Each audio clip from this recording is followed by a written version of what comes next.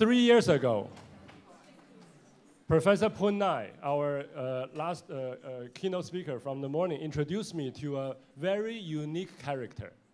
I heard about him for a long time, okay, and at that time, uh, Pun Ngai and I, we were involved in a, uh, uh, in a alternative online news platform called uh, Groundbreaking, 破土, right, and, uh, and then Pun Ngai was introducing me to Professor Huang Sun-quan, right, and uh, who is very famous, you know, in social movement and new media movement. You know, he was uh, uh, coding uh, for the, uh, the, the first wave of traditional character, okay, Chinese character blogs, okay, in, in Taiwan.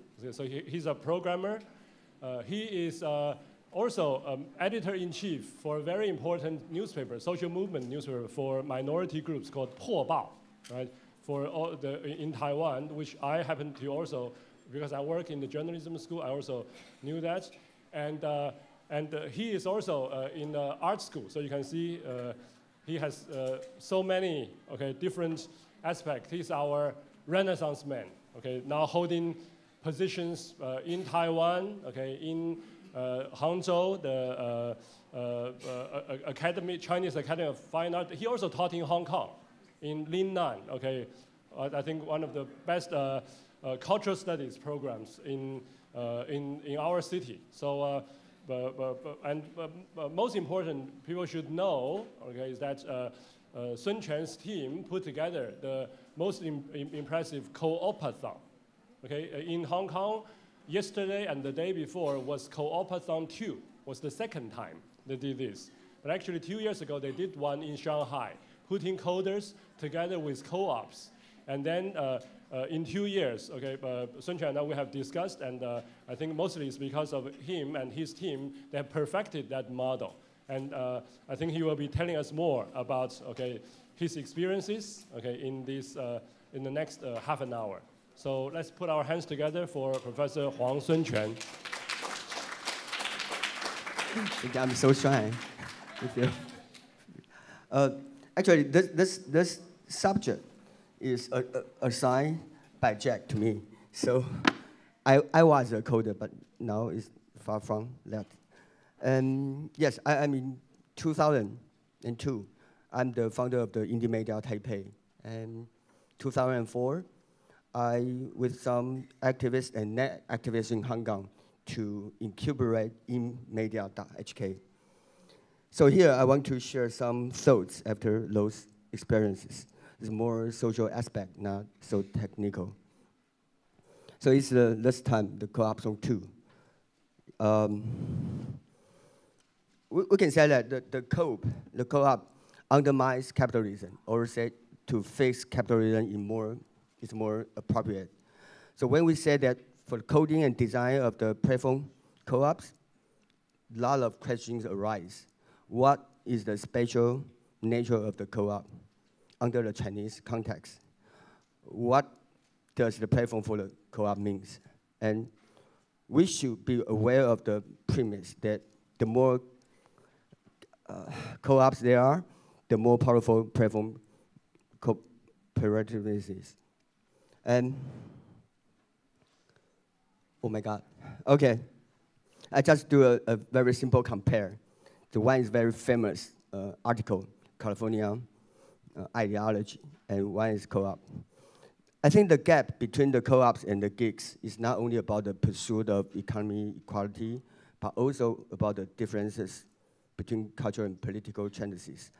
The former, the former asks for all participation or nothing at all, while the later mostly pursues you know, some individual talent Genesis achievements.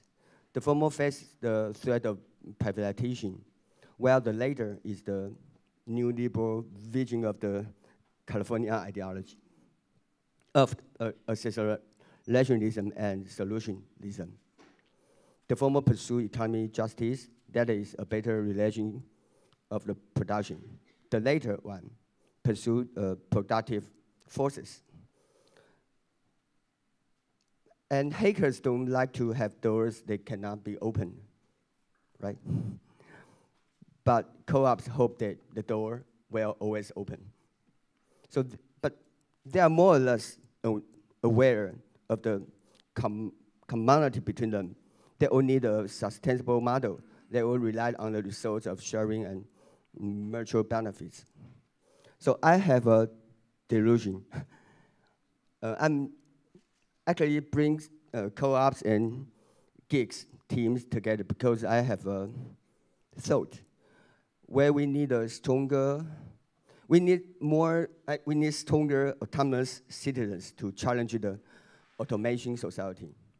We not only want to get back the technology back, but also the right to share social value of, of technical production. So uh, from 2014, right, we do a lot of hackathons. We have the R hackathons in Hangzhou the first time. And the second time, we cooperate with the, the digital minister, uh, now is the digital minister of the Taiwan, uh, Audrey Tang, is very famous hacker in whole Asia, do uh, Silverstone. And we have a lot of video, just, and this, last time in Shanghai, we do the co-op zone one. And this is this, uh, this time. So be, uh, before this time, uh, co-op we do a lot of studies. Uh, so we held five local panels, two in Taipei, one in Kaohsiung, one in Hangzhou, and one in Hong Kong. So we do a lot of studies. And we did uh, publish an e-book on the Gitbook. Let's co-op. And we translate a lot of mm, important articles, include uh, Trebor and Michel Bauwens. we still a lot of things. And we uh, have a booklet, a small book, that contains a lot of uh, near 50 uh, co-ops and NGOs in this book, uh, Chinese and English. So, uh, so we, we, want to prepare the co-op zone. We do a lot of st uh, studies, things like that. And but I want to share uh, the more important thing is the the Chinese context, Taiwan, mainland China, and Hong Kong is totally different because just like Taiwan, there are 6,000 uh, co-ops in Taiwan and two-thirds are just employee consumption co-ops. and maybe you know, you, you all know the theories and ideas of the co-ops were original, or, originated in Europe and spread to China in around 19, 19, uh, 1910, I think. Uh, it has been developed for more than a century. In 19, uh, 1934, the cooperative law was announced, and in 1946, there was enacted and defined in our constitution. So, but, but the most important thing is the both side, I mean, China and Taiwan, co-ops has become a policy tool. Because in mainland China, they've gone through the revolution, just like uh, morning the Professor Pan told us, and rushed to get rid of the collective trauma of the people's communes. It was not until 2007 the co-op become the legal in China. And own, but only agricultural co-ops. In Taiwan, the foundations, nonprofit, organizations have become mainstream social charities. That's, that's, that is uh, both give up the most important nature of the co-ops, let's say economy, justice, and democracy. So, uh, so if you read the uh, social code, not a technical code, so we, ha uh, we have the four characters very important in Chinese uh, uh, context. One is indigenous common. Two, we have a lot of social movement, movement and to become a collective. Third, in China, we have the border inferential policy called China Rural Constructions. And some of them become a social economy project, like co-op.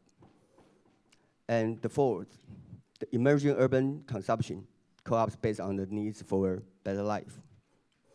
The first case in the South uh, is the only 200 people, uh, very few. And it's very similarly like uh, the smart cruise. Uh, for example, I just uh, take a very simple uh, example. Their New Year festival was decided by seven family elders, but they don't vote, they don't discuss even. They just look into each eyes, and if see someone eyes with some sad, they say, "Oh, that's Happy New Year." Well, held three days, okay. But if your eyes with some pleasure, happy, then we can a big year festival. Like it can last even 11 days. No vote, no discussion. Why? Because they have a really strong social connection, right? They have the common 100 years ago. Okay, another case is that's this morning. The Cruise is another successful example. It is a tribe that practice communist since 100 years ago. Another case is the Nantang, this morning before. And the Master Yang, he had no time to explain the long history of the struggle. Because Nantang is a, uh, it's come from the Nantang village in 1998. The local farmer gradually organized farmers' right association since they opposed excessive uh, taxations and become a frontline organization for the reduced, uh, reduce and uh, of the agricultural tax movements. For more than 10 years, the organization has developed a uh, diverse uh, community. And the one important thing is that through the collect, uh, collabor uh, uh, the village coordinate to build a public activity center together. So we can see the, the public, public activities centers. Okay. Another case is uh, uh, Puhan community. Uh, Puhan uh, covers the, the, two townships in, in uh, almost uh, 43 village communities.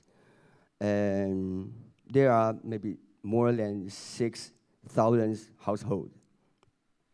And in 1998, a couple, Zheng Bin Lao and Xie Fu Zheng Lao they established a Zaizi, uh, Zaizi Technology Center.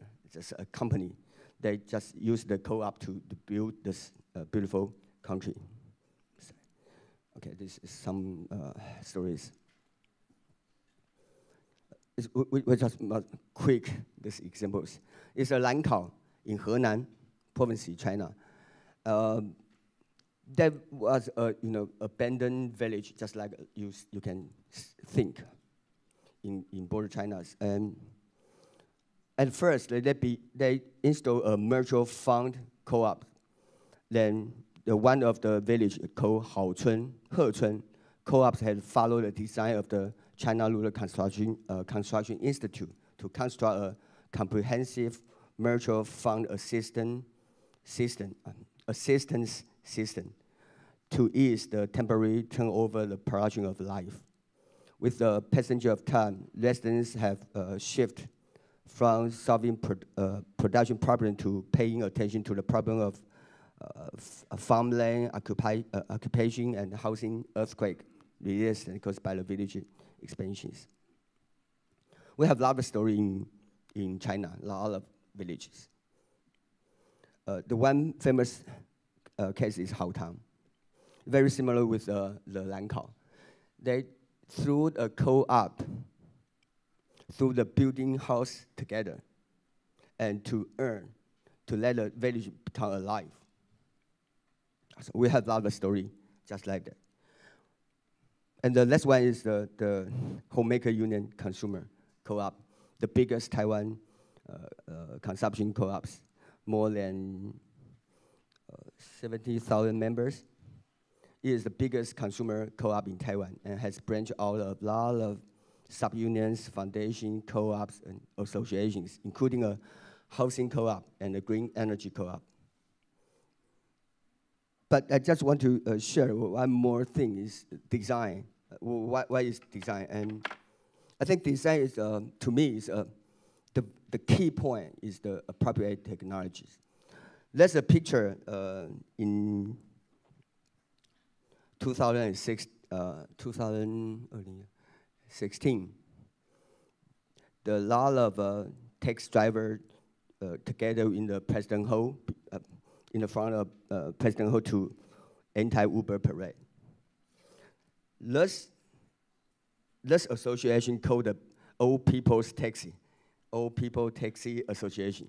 Actually, it had engaged in many democratic, movements in Taiwan since 1995. The driver were uh, assembled through the, the ham radio, the amateur radio. Do, do you know that? It's a very long time ago. Ham radio? Okay. They they're just driving and to sites of protest as a way to express their view on certain social issues and engage a lot of uh, democratic activities. So after Uber was exiled by Taiwan government, let's start to use the line as a social media-based taxi booking system, as many other taxi association or union in Taiwan, they will use that. So I think there is always an alternative. One can have many choices, utilize any tool which is more convenient to, to the user. Whatever you use the WeChat, Line, WhatsApp, app, app, or a local app for calling taxi. This is what, what I mean, the appropriate technology means. The story provide that is not the technologies, no matter old or new. Turn networks into platforms, but networks make platform possible. It's in two days. I, I feel really sleepy. Um, in the two days, uh, we, uh, we have a lot of co-op leaders and coder, designer from mainland China, Hong Kong, Taiwan, and some US uh, friends from CoLab and other countries worldwide team up into nine groups. And they coordinate to create apps, website, or like visualize storyboard uh, according to the needs of the different co-ops.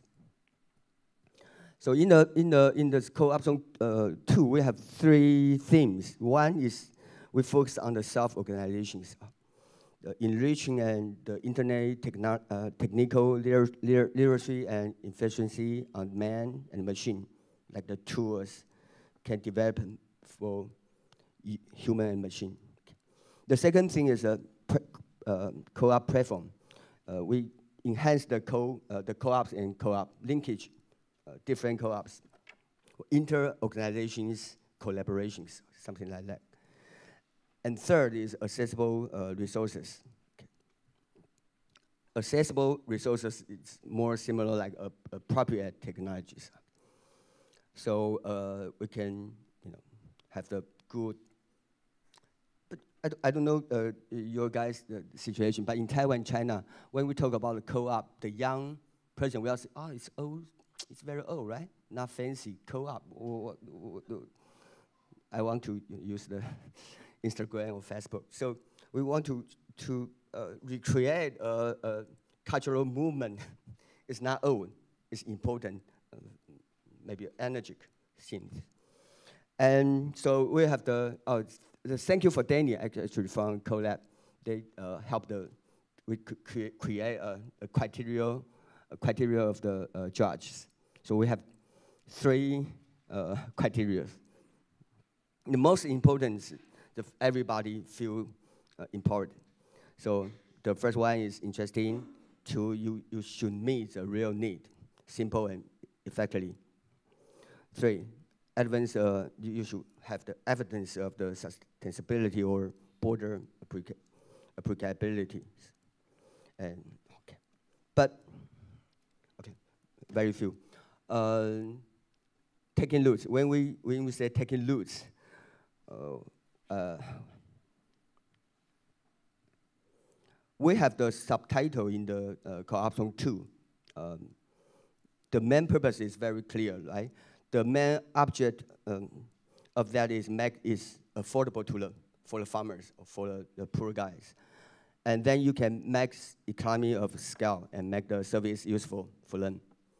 But I think it's not only for affording expensive new technologies together, but also for avoiding digital gentrification as well. Because we, we, we you really find a lot of new fancy technologies, but to some community or some villages, they do a lot of digital gentrifications.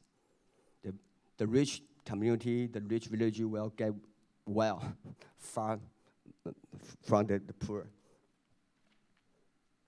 And the second thought is um, I want to try to uh, make two kind of people together. One we call new human or new man, just who those who have been transformed by social movements, and uh, another digital uh, and uh, digital natives. When we when we use the the word network or technology, I think a lot of meanings have been content, contaminated. It's time to reconsider the, the new meanings of the two words. I believe it's possible for network to make common, common precisely because uh, co-creation is the best way to recapture the social use of the productive value. So we must think the production of space and the space of flow to articulate the new human who has been transformed by the social movement and the new generation human, I mean, digital natives. In short, the new social society is to enable post-human society to relearn the social life. Because a lot of society is not social, right? Third, uh, we, we know, uh, we know uh, one thing is the financial uh, tsunami is certainly not evidence of the collapse of the new liberalism, far from that. But it has triggered, triggered a boom in Europe, uh, um, cooperation movement, just like a rise of the South Korean and the emerging co-op movement in Asia, uh, economic uh, after 1997. So when we talk about the platform uh, co cooperativism today, we must first have the cooperative movement. We need more social movements. We must face the real struggle, especially class struggle, and more symposiums of each co-ops. And to end, if we want to end neoliberalism, it's not only by rebel, re but to create. It's only necessary to make your own practice in Marx sense a living labor is an independent variable rather than a variable. And for social activists, the world is created by the conflicts of to create new human beings. For architects, it is uh, necessary to master the technology that start the world. For artists, to reshape the society only by you know, to the, of, of the near future by emotionally. For hackers, improve technologies seems means change the world. But they all forgot the world is not only behind at the, their front door, but also between them. So the current social life is always constructed by the imagination of the future social life. Now there is no, and there will be no future. That's my last sentence. We're back to the California ideology. In the, in the uh, last second phrase of the article, it says, it is not necessary for us to assert our own life, if not in circumstances of our own choosing. But we can read it conversely and fulfill it in a cooperative way. Thank you very much.